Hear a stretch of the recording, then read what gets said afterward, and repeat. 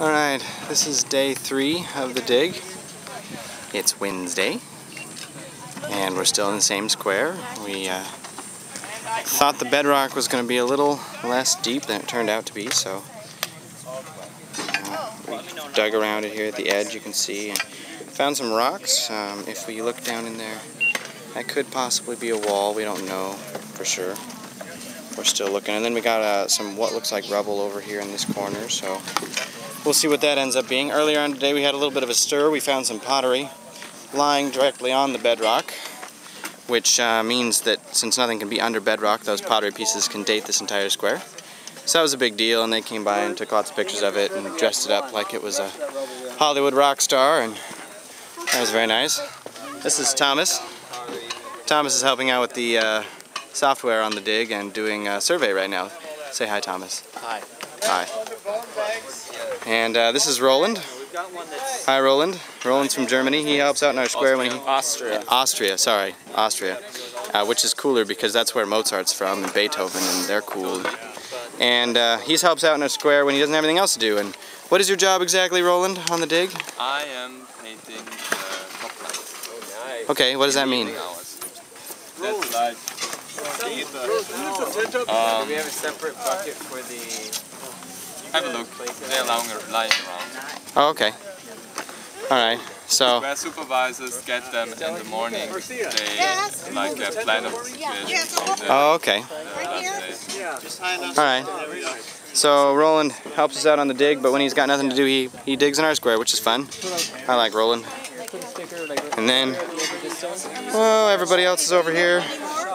Their rubble has uh, increased in size, you can see. Looks like they've got what looks like maybe a wall going on there. Okay, so are these the last two buckets? Something over there, and uh, this wall has turned into quite a mess. It could possibly be curved. They don't know if that was intentionally or not. Uh, earlier today we had a, an unusual find. Uh, we found a seal. And this is uh, Dr. Klingbeil. He's our expert in seals.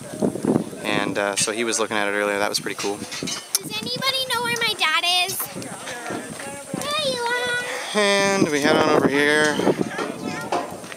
You can see these squares have gotten quite a bit deeper. They've started to find some rubble in Travis's square.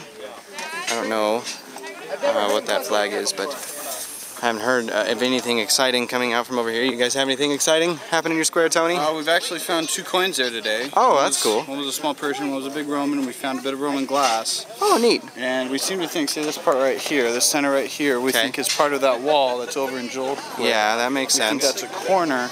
And then right over here, we feel like this may or may not be something that's connected with the cultic center that was found last year. Oh, okay. down on the edge, but we don't know for sure. We're just trying to move it. But Travis says this that rock right there in the middle is just too big to not be something. Yeah, I'm with so, you there. So we don't know what's going on, but uh, potential. That's potential. Cool. It's only day Awesome. three.